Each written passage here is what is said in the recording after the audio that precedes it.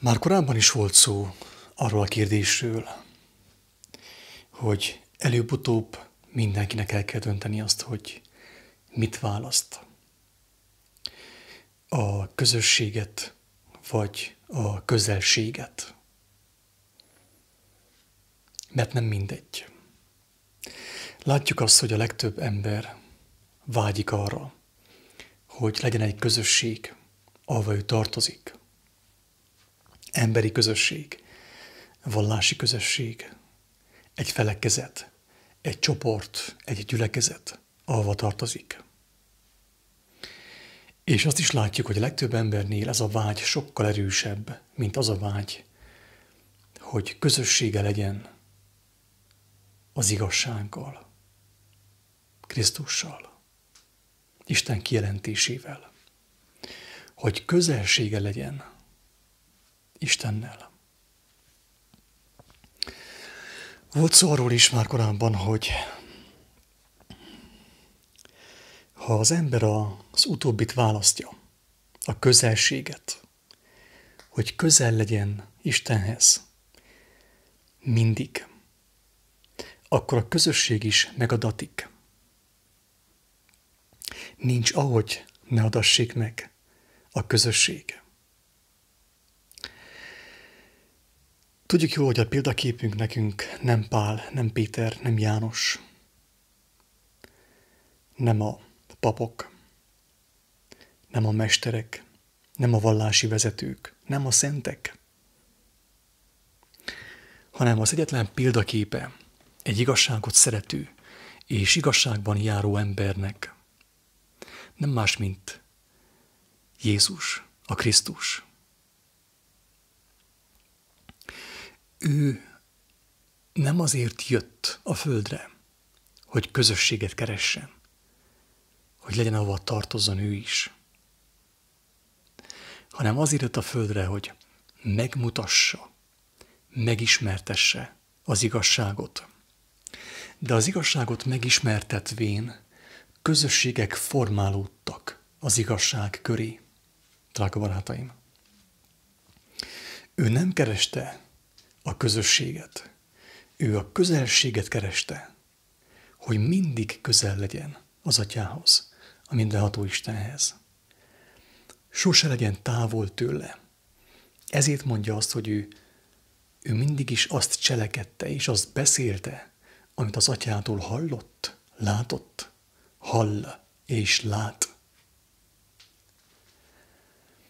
És ezt beszélvén, azt mutatván, azt cselekedvén, amit ő látott az atyánál.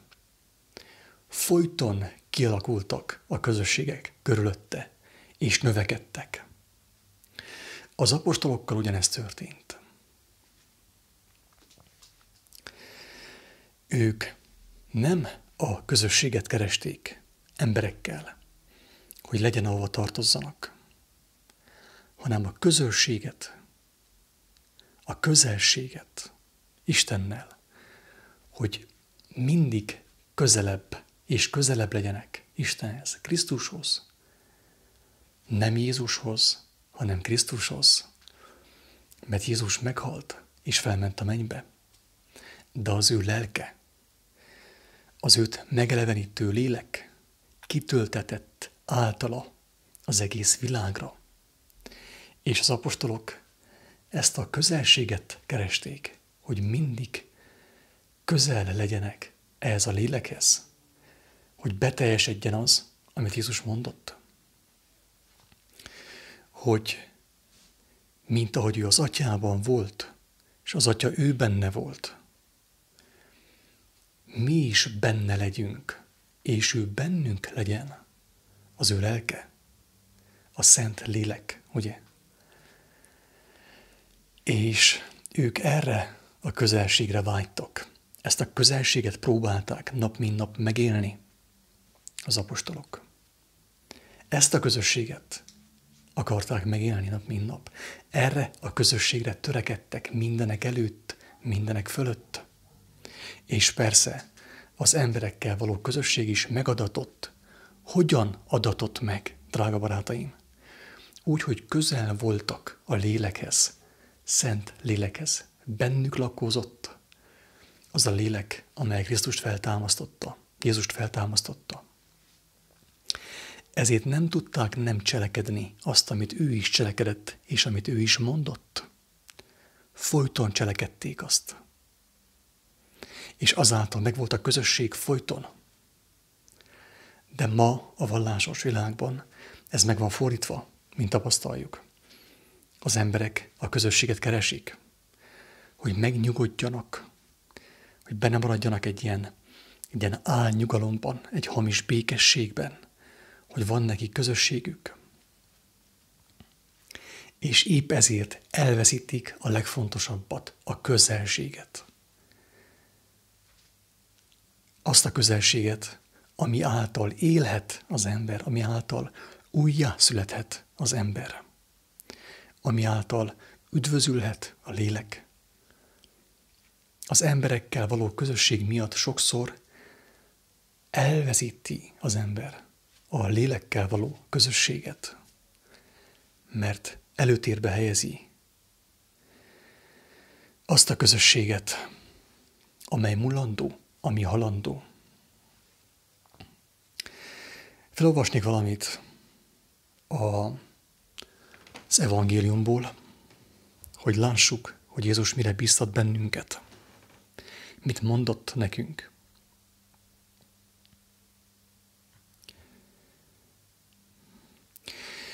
Jézus a Lukács evangéliumának a tizedik fejezetében a következőket mondja. Ezek után pedig rendele az Úr másokat is, hetvenet, és elküldi azokat kettőnként az ő orcája előtt minden városba és helyre, ahová ő menendő vala. Mondd azért nékik,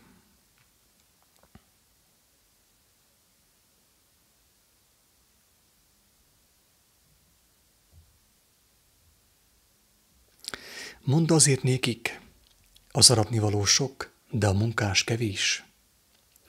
Kérjétek azért az aratásnak urát, hogy küldjön munkásokat az ő aratásába. Mondd azért nékik, az aratnivaló sok, de a munkás kevés. Kérjétek azért az aratásnak urát, hogy küldjön munkásokat az ő aratásába. Tehát erre kérte a tanítványokat, az ő barátait, akiket ugye ő a barátainak nevezett, mert mindent elmondott. Miért nevezte barátainak őket? Mert mindent elmondott nekik, amit a mindenható Istentől hallott. És azt mondta nekik, hogy kérjétek az aratásnak urát, imádkozzatok hozzá, hogy küldjön munkásokat az ő aratásába. Mert az aratni való sok, a munkás kevés. Drága barátaim, amikor valaki engedelmeskedik Jézusnak, az ő szavainak, a Krisztus lelkének, akkor nincs ahogy ne legyen közössége. Lehetetlen, hogy ne legyen közössége. Mert ő azt mondta, ahol ketten vagy hárman egybegyűlnek, az ő nevében, az ő bölcsességében, az ő tanításait fürkészve, az ő szavait fürkészve, az igazságot éhezve, ott van ő is. Hogyha te valakinek elmondod azt, amit kaptál tőle, az evangéliumból, a lélek által, az ő szavai által, akkor már is ott a közösség. Tehát nincs, ahogy ne legyen közössége egy olyan embernek, aki engedelmes, aki szereti Krisztust. Mert aki szereti őt, vágyik arra, hogy megcselekedje, amit ő mondott, drága barátaim. Aki szereti őt, vágyik arra, hogy megcselekedje azt, amit ő mondott, amit mutatott. Aki hisz benne, vágyik arra, hogy megcselekedje azt, amit ő mondott, amit mutatott, mert tudja, hogy amit ő mondott, amire megkért bennünket, amire tanított bennünket, az tökéletes. Aki hisz benne, tudja, hogy az, amit ő mondott, az tökéletes, azt érdemes csinálni, azt jó csinálni. Abban eledel van, abban táplálék van, ha valaki azt csinálja, amit ő mondott. Mire kért bennünket? Arra, hogy menjünk el, és hirdessük a mennyek országának az örömhírét minden teremtménynek. Fohászkodjunk a mindenható Istenhez, hogy küldjön munkásokat az ő aratásába. Először küldjön el minket, vértezzen fel, tanítson bennünket, és küldjön el, hogy minden nap az egy talentumot, az öt talentumot, a tíz talentumot befektessük. És már is megvan a közösség. Hogyha van közelség Istenhez, van közösség is. Nincs ahogy ne legyen közössége egy olyan embernek, aki cselekszi azt, amit Jézus mondott. Hinni Jézusban nem azt jelenti, hogy hinni az ő nevében, csupán. Az ördög is hisz Jézus nevében. Csak nem cselekszi azt, amit Jézus mondott. Ha én hiszek benned, ha te azt mondod, hogy, hogy Moszkva kelet irányba van, és nem nyugat irányba, ha én hiszek benne, akkor én elindulok kelet irányba, és nem meg nyugat irányba. Az a bizonyítéka annak, hogy én hiszek benned, hogy elindulok kelet irányba, és nem nyugat irányba. Az a bizonyíték annak, hogy valaki hisz Jézusnak a szavaiban, hogy cselekszi azt, amit ő mondott, és akkor nem történhet meg, hogy ne legyen neki közössége. De ő mindenek előtt a közelségre vágyik, hogy közel legyen az atyához, Krisztushoz. Azt cselekedvén, amit ő mondott. Hogy legyen közössége a lélekkel, a szent lélekkel, és ezáltal megadatik számára a közösség mindig, minden napon.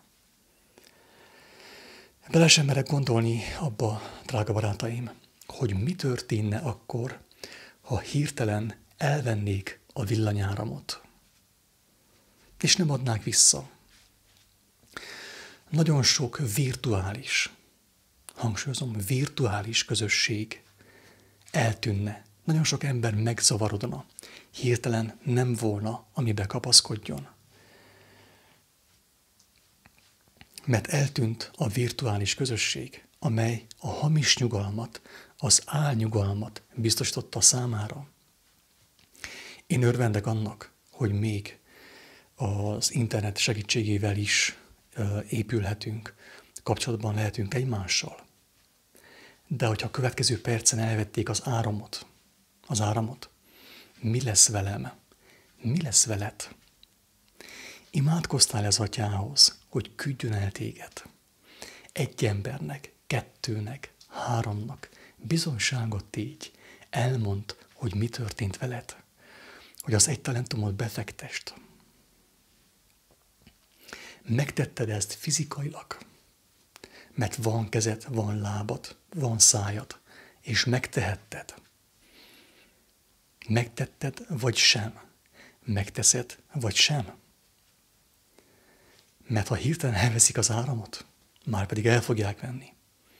Pál azt mondta, hogy ami jönni fog a világra, az hirtelen fog jönni. Hirtelen veszedelem jön rájuk, mint a szülési fájdalom a terhes asszonyra, és semmiképpen meg nem menekednek, mondja Pál. Amikor azt mondják, hogy békesség és biztonság ráadásul. Mindenhol az lesz, hogy békesség és biztonság, álbékesség, álbiztonság, ilyen biztosítás, olyan biztosítás. Pénz lesz bőven, tehát lesz békesség és biztonság látszólag. És akkor fog jönni a hirtelen veszedelem. És a legtöbben nem fognak megmenekülni. Miért? Azért, mert a közelséget elvesztették. Virtuális közösségbe tömörültek, és amikor hirtelen eltűnik a világháló, vagy az áram, az elektromos áram, egyedül maradnak, senkiük nem lesz. Senki, aki, akivel fizikailag közösséget vállalhatnak. Akivel megtörhetik a kenyeret nap mint nap, nem lesz senki. És megzavarodnak, bekattannak, mert akkor derül fény arra, hogy ők több éven keresztül becsapták magukat. Közelségük sem volt Istennel, Istenhez, a Szentlélekhez, de viszont közösségük sem volt. Miért? Azért, mert nem volt köz- közelségük, és nem gyakorolták, nem cselekedték azt, amit Jézus mondott. Nem imádkoztak, hogy Isten küldje el őket, mert az aratnivaló sok, és a munkás kevés, hogy küldje el őket a nekik megadatott talentum szerint. Nem tudom, mennyire érthető, amit mondani próbálok, hogy a legfontosabb a közelség. Az, hogy közel van hozzám Isten, Isten országa. Benne vagyok én, én abból cselekszem, abból beszélgetek, abban létezem, és azáltal nekem van közösségem is, nem csak virtuálisan a világ hálójában, hanem fizikálisan is van közösségem folyton emberekkel, akiknek nap mint nap elmondom az örömhírt, hogy van bűn a világban, abból származik minden fájdalom, minden betegség és a halál, de van lehetőség a szabadulásra, van megbocsátás, Krisztus vír által. És van szabadság. És amikor ezt megteszem, akkor azt cselekszem, amit ő mondott nekem. És van közösségem. És minimum egy, kettő, három, négy ember folyton ott lesz mellettem, fizikailag is, fizikálisan is. Nem csak virtuálisan, a számítógépen, a világ hálójában. És így jöhet a vég, jöhet bármi. Mert mivel nekem volt közelségem, közel voltam Istenhez, ezért volt közösségem is. Csak bátorítani tudok mindenkit, hogy, hogy vágyakozzon a legfontosabbra, hogy legyen közelsége. Legyen közel Istenhez, Krisztushoz, hogy cselekedje azt, amit ő mondott, és azáltal lesz közössége is. Folyton lesz két-három, vagy több személy, fizikailag is, akikkel együtt lehetnek, és együtt ehetnek, megtörhetik a mindennapi kenyeret, megoszthatják egymással az igét, és növekedhetnek ö, általa. Aki nem érez erre készítést, hogy megossza azt az egy talentumot, amit, amit ő kapott, megossza a bizonságát, hogy segítsen másnak is abban, hogy elmondja, hogy van lehetősége a teljes szabadulásra. Elképzelhető, hogy nincsen közelsége. Nincsen közel hozzá Isten, és ő nincs közel Istenhez. És a közösség, amit ő tapasztal, az csupán egy virtuális közösség, ami a villanyárammal együtt eltűnik az ő életéből, és azáltal beáll számára is a káosz, az űrzavar, az elmezavar. Hát ettől az Úristen őrizzen meg mindenkit. Isten áldjon. Sziasztok!